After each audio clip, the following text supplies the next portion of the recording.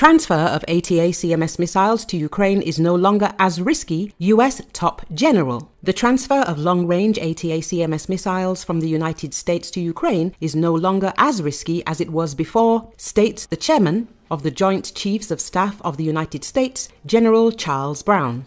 In a conversation with journalists, Brown stated that the risk of escalation during the transfer of ATACMS missiles to Ukraine is not as high as it might have initially seemed. In 2022, Russia publicly stated that providing such weapons to Ukraine would supposedly cross a red line. At the same time, the chairman of the Joint Chiefs of Staff, General Mark Milley, stated that people in academic circles, analytical centers, or other forms of analysis refer to this as declaratory policy. This refers to statements made by high ranking officials discussing what they will or will not do if certain actions occur. Top military officials speaking on the background have pointed to Russian military doctrine specifically as it relates to so called existential risk, saying that giving Ukraine such weapons could compel a nuclear response from Russia or spur it to attack a NATO partner, the source writes. The US general stated that Russia's restrained response to a series of recent attacks by Ukrainian drones deep into Russian territory allowed the Pentagon to adjust its risk analysis for sending ATACMS. Those are the things that we pay attention to. You know what is the likelihood of escalation based on different capabilities and different actions, he said. Last year, Ukrainian soldiers struck Russian airfields in Luhansk and Berdyansk.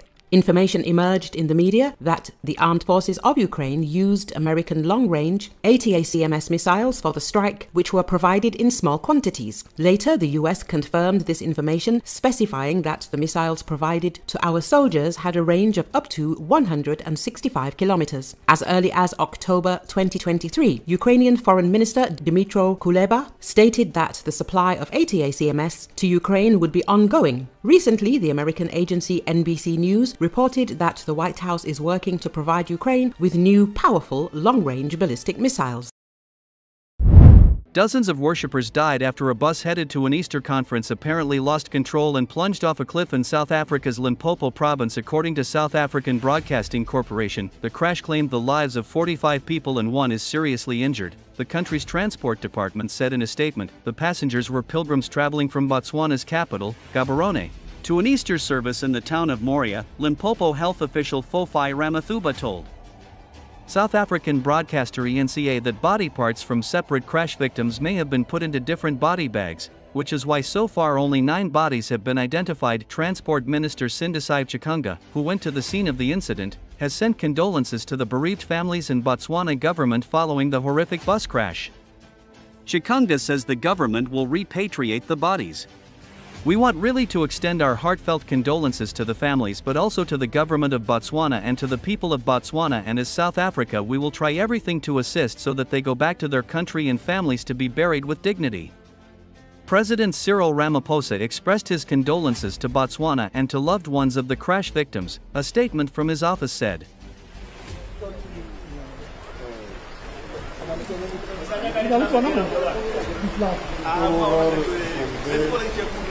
그러면은 네. 하시죠. 예? 예.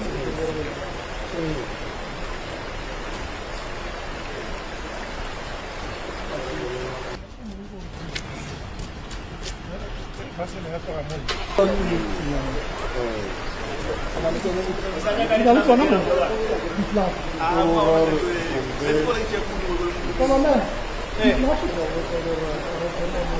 예? 예. Hum.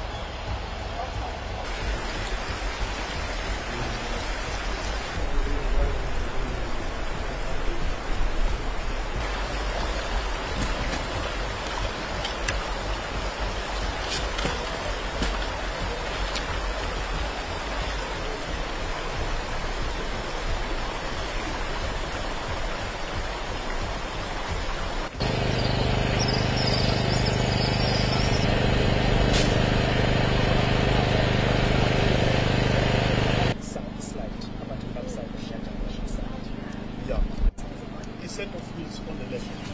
I'm not clear, it.